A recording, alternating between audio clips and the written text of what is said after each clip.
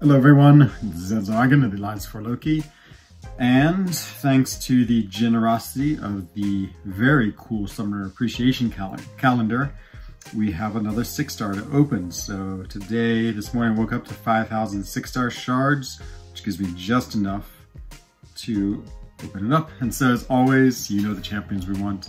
Void Dupe would be amazing because I'm almost out of skill. Um, Emma Frost, still my favorite mutant. Um, but of course, the number one in the world would be Corvus Glaive. And so let's see what we get here. Oh, Void would be so nice.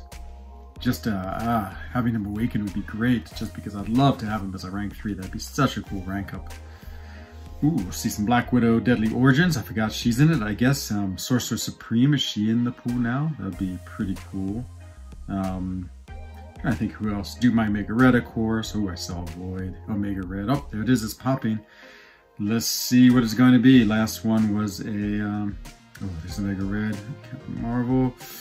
It going to be? And it's going to be, oh, Hela, no. Uh, I awakened her. Um, Hela, uh, I mean, her awakening ability is, is okay. I'm just, I don't know. It's uh, just another character that I never really have cared too much about, so, but now she's awakened, so wonderful.